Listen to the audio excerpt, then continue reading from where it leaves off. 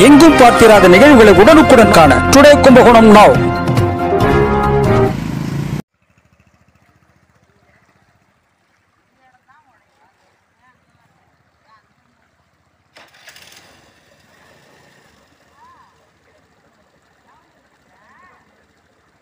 கும்பகோணம் மேலக்காவேரி பாலம் அருகே உள்ள மாரியம்மன் கோவில் சாலையில் இன்று காலை திடீரென வெடிப்பு ஏற்பட்டு அங்கிருந்து தண்ணீர் வெளியேறி பரபரப்பை ஏற்படுத்தியுள்ளது.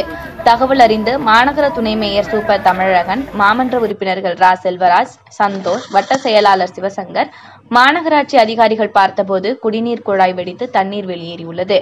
இதனை தெரிய வந்து அதனை சரி செய்யும் பணியில் ஈடுபட்டனர்.